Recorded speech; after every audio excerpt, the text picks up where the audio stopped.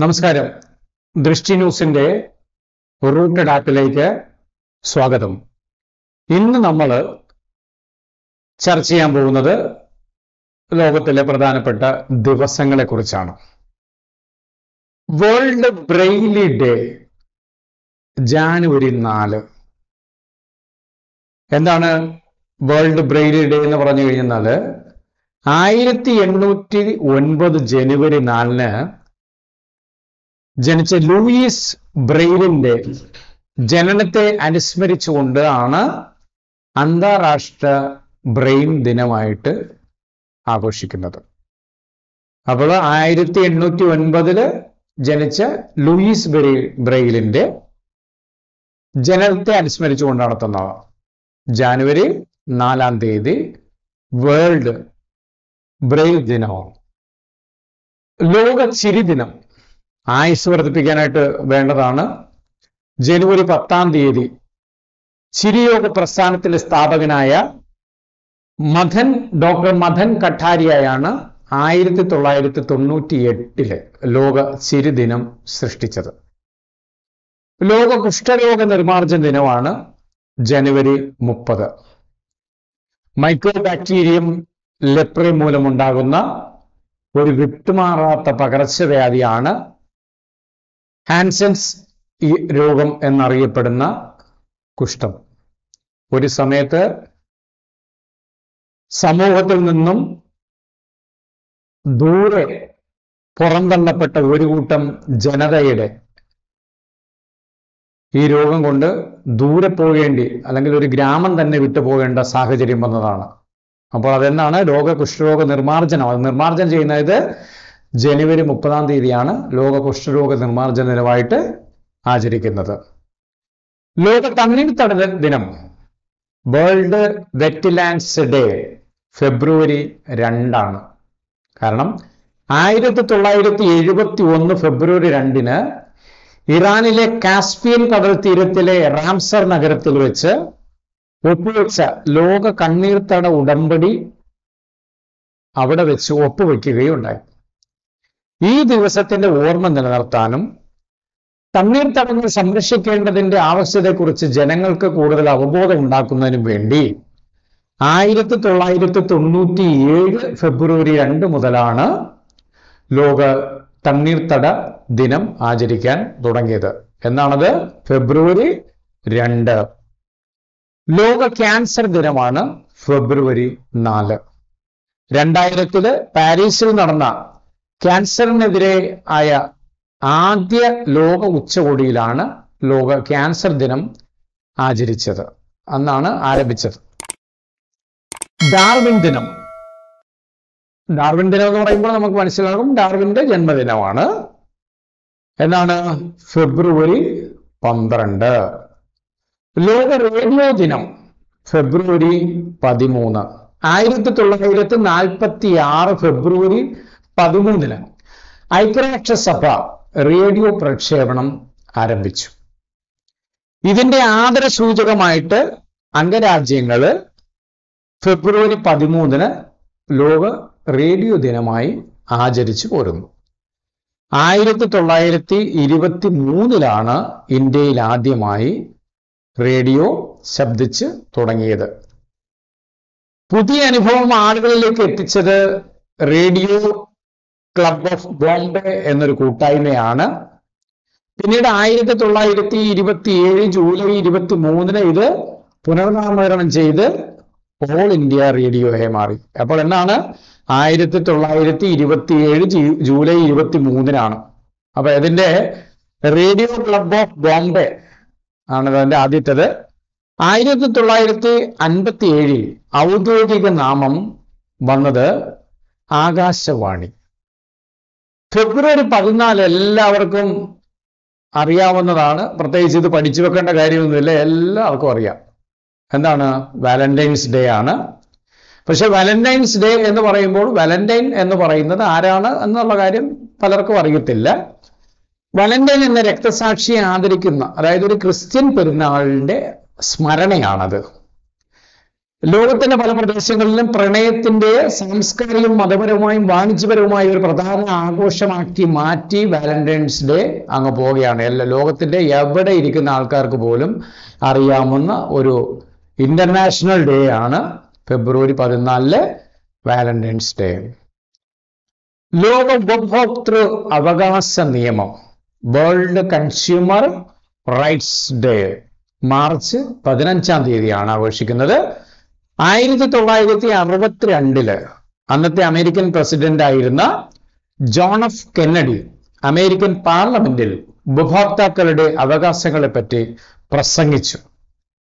March പത്- പതിനഞ്ചിനാണ് ആയിരത്തി തൊള്ളായിരത്തി അറുപത്തിരണ്ടിൽ അതിന്റെ സ്മരണയാണ് ഈ ദിവസം വേൾഡ് കൺസ്യൂമർ റൈറ്റ്സ് ഡേ ആയിട്ട് വന്നത്. ഈ പ്രസംഗത്തിൽ നിന്ന് പ്രചോദനം ഉൾക്കൊണ്ടുകൊണ്ട് കൺസ്യൂമർ ഇന്റർനാഷണലിന്റെ പ്രവർത്തകനായ അൻവർ ഫസൽ. അവർ ആരാണ്? കൺസ്യൂമർ ഇന്റർനാഷണലിന്റെ പ്രവർത്തകൻ അൻവർ ഫസൽ ഈ ദിവസം ലോക ഉപഭോക്തൃ അവകാശ ദിനമായി നിർദ്ദേശിച്ചു.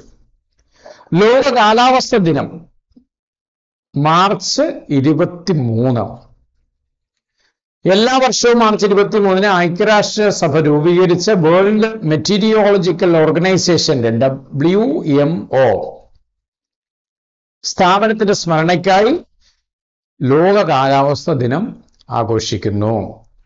ലോക നാടക ദിനം. ശ്രദ്ധിക്കുക അവിടെ ഇപ്പോൾ ഒരു ചെറിയ മിസ്റ്റേക്ക് വന്നിട്ടുണ്ട്. രണ്ട് ലോക ലോക എന്ന് പറഞ്ഞിട്ടുണ്ട്. ഒരു ലോകം മതി കേട്ടോ.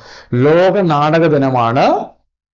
എന്നാണ് മാർച്ച് ഇരുപത്തിയേഴ്. International theatre institute I T I ആയിരത്തി തൊള്ളായിരത്തി അറുപത്തിരണ്ടിലാണ് ലോക നാടക ദിനം ആരംഭിച്ചത്. എല്ലാ വർഷവും മാർച്ച് ഇരുപത്തി ഏഴിന് ഐ ടി ഐ സെന്ററുകളും അന്താരാഷ്ട്ര നാടക സമൂഹവും ഇത് ആഘോഷിക്കുന്നു. ലോക ബാലപുസ്തക ദിനം ഏപ്രിൽ രണ്ട്. ഡാനിഷ് എഴുത്തുകാരനും കവിയും ബാലസാഹിത്യകാരനുമായിരുന്ന ഹാൻസ് ക്രിസ്ത്യൻ ആൻഡേഴ്സിന്റെ ജന്മദിനമാണ് ഏപ്രിൽ രണ്ട്. അതുകൊണ്ടാണ് അന്ന് ലോക ബാലപുസ്തക ദിനമായിട്ട് ആചരിക്കുന്നത്. ഏപ്രിൽ പതിനെട്ട് ലോക പൈതൃക ദിനം international day of monuments and sites ആയിരത്തി തൊള്ളായിരത്തി എൺപത്തി മൂന്ന് നവംബറിൽ ഏപ്രിൽ പതിനെട്ടിന് സ്മാരകങ്ങളുടെയും പാരമ്പര്യ ഇടങ്ങളുടെയും ദിനമായി ആചരിക്കുവാൻ യുനെസ്കോ തീരുമാനിച്ചു.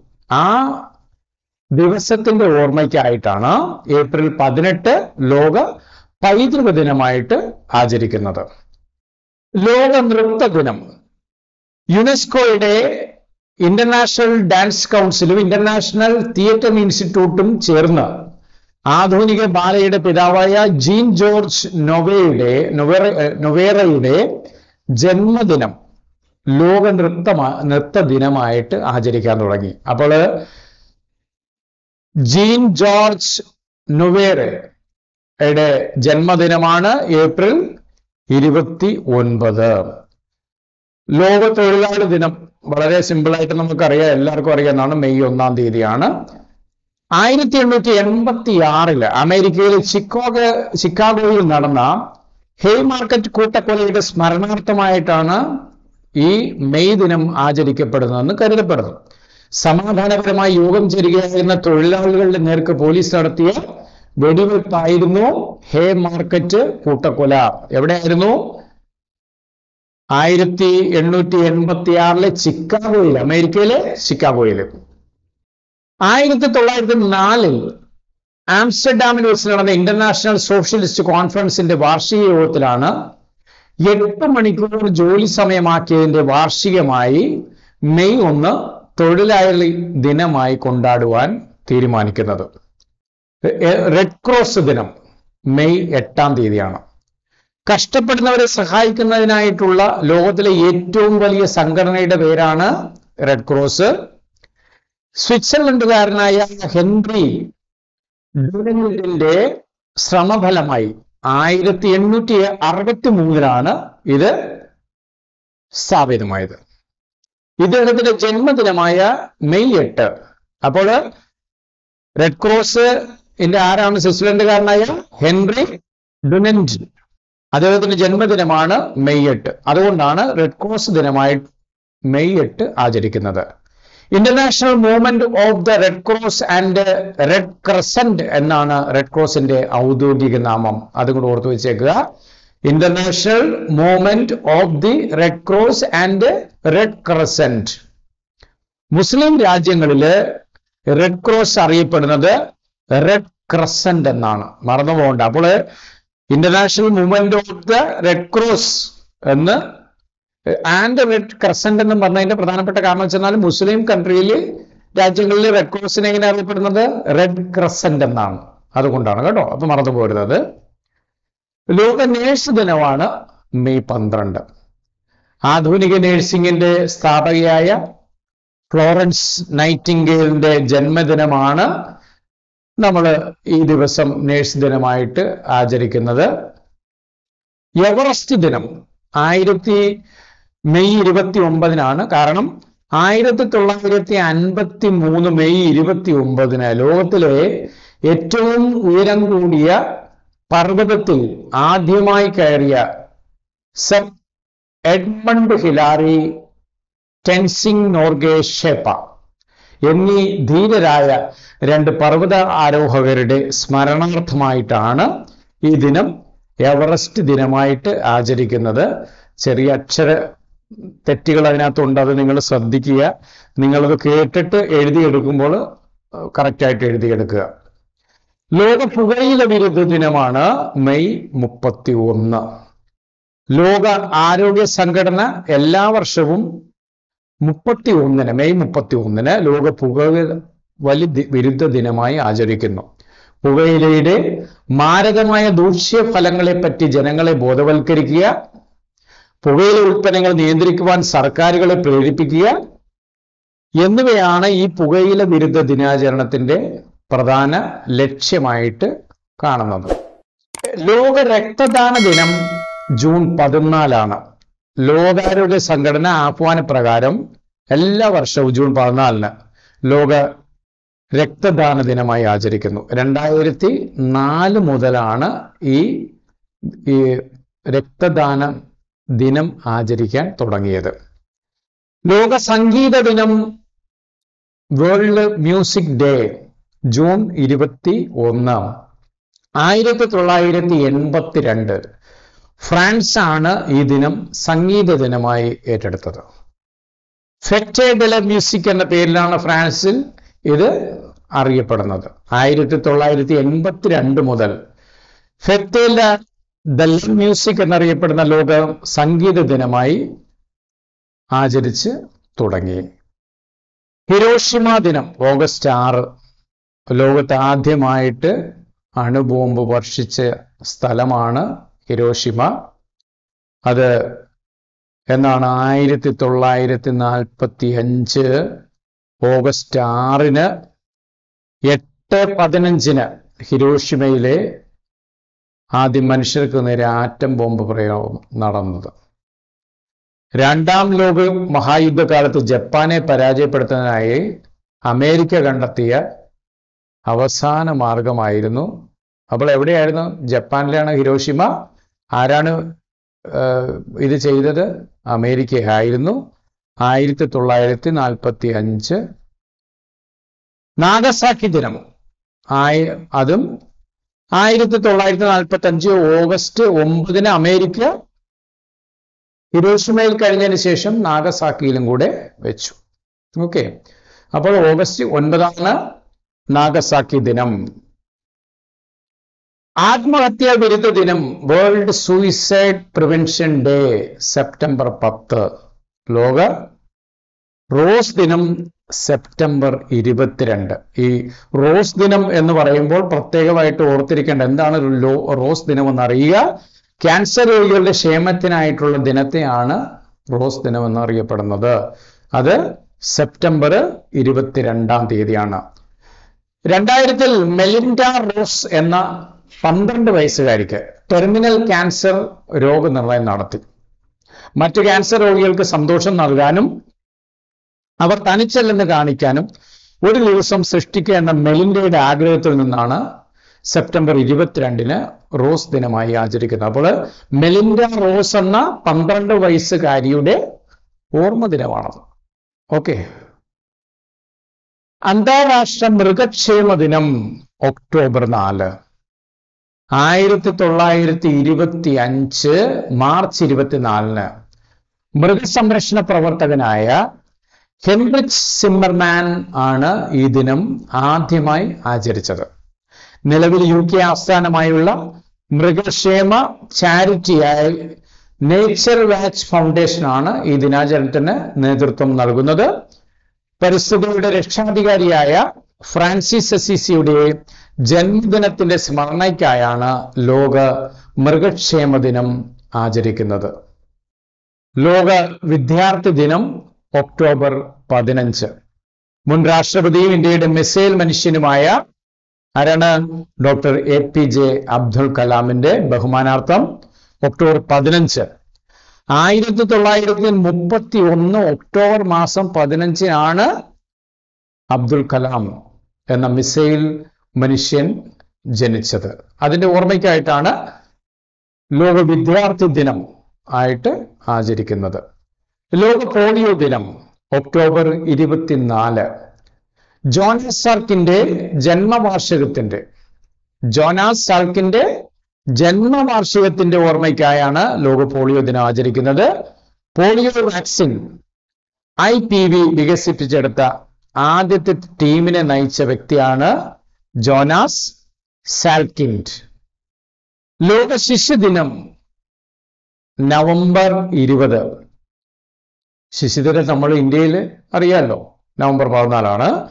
ആയിരത്തി തൊള്ളായിരത്തി അൻപത്തി ഒൻപത് മുതലാണ് യു എൻ ജനറൽ അസംബ്ലി കുട്ടികളുടെ അവകാശ പ്രഖ്യാപനത്തിന്റെ സ്മരണയ്ക്കായി വർഷം തോറും നവംബർ ഇരുപത്തിനാല് ഇരുപത് ലോക ശിശുദിനമായിട്ട് വേൾഡ് ചിൽഡ്രൻസ് ഡേ ആയിട്ട് ആചരിക്കുവാൻ തുടങ്ങിയത്. ലോക ഡയബറ്റിസ് ദിനം ഇന്ന് ഏറ്റവും കൂടുതൽ ആൾക്കാർ ഡയബറ്റിസ് രോഗത്തിന്റെ അടിമകളാണ്. ലൈഫ് സ്റ്റൈൽ ഡിസീസാണ് നവംബർ പതിനാലാം തീയതി നവംബർ പതിനാലിന് വേറൊരു പ്രത്യേകത കൂടെ ഉണ്ട്. ഞാൻ ഇത്തിരി മുമ്പ് പറഞ്ഞു ശിശു ശിശുദിനമാണ് ഇന്ത്യയിൽ ജവഹർലാൽ നെഹ്റുവിന്റെ ജന്മദിനമാണ്. ആയിരത്തി തൊള്ളായിരത്തി തൊണ്ണൂറ്റി ഒന്ന് ഇന്റർനാഷണൽ ഡയബറ്റിസ് ഫെഡറേഷനും ലോകാരോഗ്യ സംഘടനയും ചേർന്ന് ലോക പ്രമേഹ ദിനം അവതരിപ്പിച്ചു. അതാണ് ആയിരത്തി തൊള്ളായിരത്തി തൊണ്ണൂറ്റി ഒന്നിൽ നവംബർ. അങ്ങനെ നവംബർ പതിനാല് ലോക ഡയബറ്റിസ് ദിനമായിട്ട് ആചരിക്കുന്നു. ലോക കമ്പ്യൂട്ടർ സാക്ഷരതാ ദിനം. ഡിസംബർ രണ്ടാം തീയതിയാണ്. ലോകമെമ്പാടുമുള്ള കമ്പ്യൂട്ടർ ഉപയോഗ ഉപയോക്താക്കളിൽ ഭൂരിഭാഗവും പുരുഷന്മാരാണെന്ന ഗവേഷണത്തിന് മറുപടിയായി രണ്ടായിരത്തി ഒന്നിൽ ഇന്ത്യൻ കമ്പ്യൂട്ടർ കമ്പനിയായ N I I T N I I T അതിന്റെ ഇരുപതാം വാർഷിക ദിനം പ്രമാണിച്ച് ലോക കമ്പ്യൂട്ടർ സാക്ഷരതാ ദിനം ആരംഭിച്ചു. അപ്പോൾ എല്ലാം നോട്ട്സിൽ എഴുതി കാണും എന്ന വിശ്വാസത്തോടെയാണ് ഞാൻ ഇന്നത്തെ ക്ലാസ് അവസാനിപ്പിക്കുന്നത്. എല്ലാവരും ഈ ആപ്പിലൂടെ ക്ലാസ്സുകൾ കാണുക എഴുതിയെടുക്കുക പഠിക്കുക. എന്തെങ്കിലും അക്ഷരത്തെറ്റുകളോ കാര്യങ്ങളോ ഒക്കെ അതിനകത്ത് ഉണ്ടാകും. അത് നിങ്ങൾ കാര്യമാക്കേണ്ട. നിങ്ങൾ കറക്റ്റായിട്ട് എഴുതിയെടുക്കാനായിട്ട് ശ്രമിക്കുക. അക്ഷര തെറ്റ് ഒരുപക്ഷെ സ്വാഭാവികമായിട്ടും വരുന്ന നമ്മൾ ചിലപ്പോൾ ചെയ്യുമ്പോൾ. ഓക്കെ അപ്പോൾ ഇന്ന് ഈ ക്ലാസ് കൃത്യമായിട്ട് കേട്ടതിന് നന്ദി. താങ്ക്